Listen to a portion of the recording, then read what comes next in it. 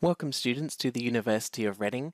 In this very quick video I'm going to take you through the process of logging into Blackboard. And Blackboard is the university's virtual learning environment. It's where you will go to access all the resources, uh, lecture notes, recordings, and activities that you'll be doing online as part of your study here at the university. So in order to log into Blackboard, there's a couple of different ways. The first way is by going to the University of Reading homepage, and from the top, if you select the students homepage, that will take you through to the student page where you can catch up on, on essentials if you're still quite new to the university, but you can also access the Me at Reading hub. And this is a hub for all things related to your study here at the University of Reading. So go ahead and click on this link. You can also search Me at Reading into a Google search and be able to find it.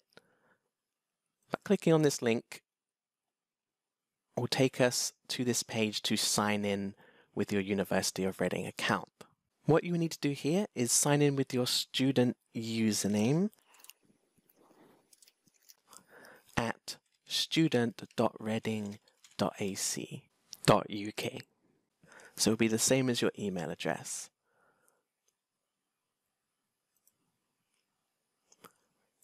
On the next page, be sure to put your password in.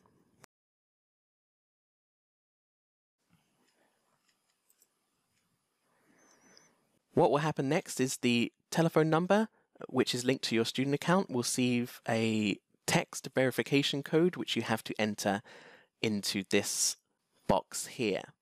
If you are signing in from overseas, it's fine, it can do this with overseas numbers as well.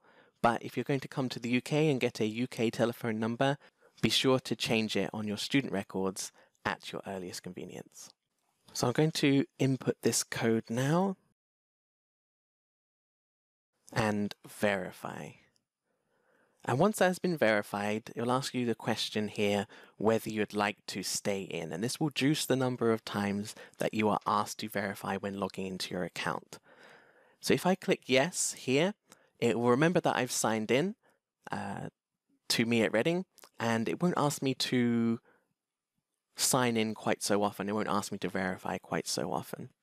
It's worth noting that you probably do not want to do this if you're using a public computer and only do it on your personal devices. So I'm going to click yes now to stay signed in. And then in my browser, it will remember that I've signed in to me at Reading and it won't ask me the next time to do it again. Me at Reading is your hub.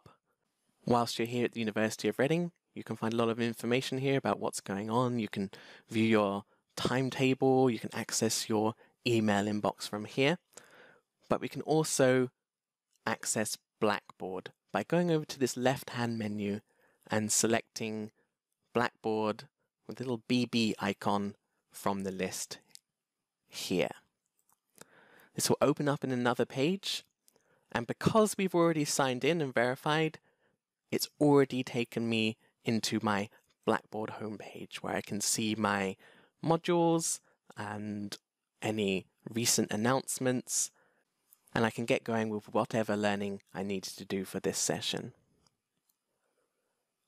If you need to sign out of Blackboard, you can go up to the top right with this little icon to log out. Clicking this will take you to this page and it's asking you a couple of different questions here. It says, how do you want to log out? So we can end session and log out, and this will log us out of the what's called the single sign-on session. This is when we signed into Me at Reading and it asked us to verify our account. If I end session and log out this way, it will completely remove my single sign-on session. So it will log me out of all my university systems, and when I log back in, I'd have to re-verify my account. But if I just want to log out of Blackboard, I can click Continue SSO Session, and this will log me out of Blackboard, but will keep me logged in to other university systems, such as my emails and uh, any library sessions I've got as well.